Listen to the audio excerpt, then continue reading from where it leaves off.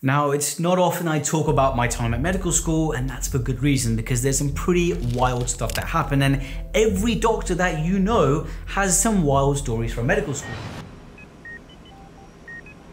For example, there was the time when one of my friends dressed up as a dildo for Halloween, and she even made that dress herself. She said it was for charity, and she ended up raising more than 500 pounds. There was also the time when I was at the medical student bar and some guy came running up towards me, dropped his trousers, farted, and then lit the fart on fire and then ran away giggling. But this one, this was one of the worst things that happened in medical school, and some people even got their GMC licenses removed, some people even got expelled. This was wild.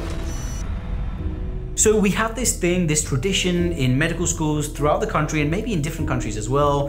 It's called sports night. And basically what happens is at the sports bar or the medical student bar, different sports teams have these drinking circles after they've lost or been victorious in a match against another team from a rival university or a rival college or whatever. Dozens and dozens of medical students would just get absolutely hammered on snakebite. That drink looked red. It looked like blood. And so when you vomited it up, it looked like you vomited up blood. It was horrible. It smelt horrible. The whole thing was just disgusting, but everyone was too drunk to care. This one time at sports night, we all came. I wasn't drinking anything this night because the next morning I had an early flight and there was someone at this event who we later found out was actually an undercover reporter for the Daily Mail and with millions of people reading it all over the world every single day. This undercover reporter was a girl who was apparently a friend of one of the medical students there. We didn't know this at the time, we found out after the article was released. Anyway, she comes in, no ID checks. This was back in 2012. So anyway, she takes all these secret undercover photos and then it gets posted to the Daily Mail and everyone finds out what the hell. Pretty bad press. You know, the headlines were terrible. It was like, you know, these are your future doctors, they're drinking, they're getting drunk, they're doing all sorts of things.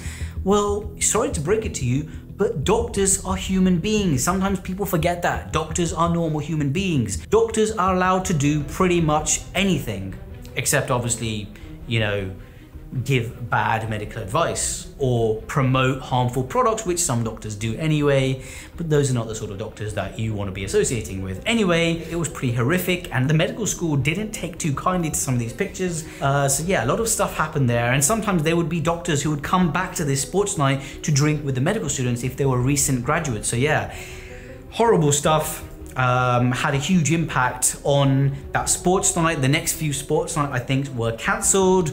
They were much more strict on the entry. They limited entry as well. So it kind of ruined the vibe. I think it's a lot better these days. I don't know, but for a few weeks and a few months, people were on edge because of this undercover reporter, which basically exposed everything. Another thing which is very strange we had different societies in medical school and one of the societies was christian society. And you know as part of what they would do they would volunteer uh, and help out different charities. And one of the things they also did was they were volunteering to clean up the mess after a sports night. They would, you know, clean the floors, they would clean up some of the vomit, they would clean the toilets, all that kind of thing. And they were also, I think, mentioned, I think, mentioned in this newspaper article as being the Christian society was being forced to clean up after drunken medics and all these kind of things. So there was that kind of religious element to it as well. So this article was a very volatile, crazy, overly dramatic article Every single doctor that you've ever come across online, in real life, or even in your family has some pretty regrettable and interesting and wild stories, and you should go and ask them right now. And if you want to hear some more wild stories about my time as a medical student or even as a doctor, I'm going to reveal everything just for you on this channel, so subscribe for more.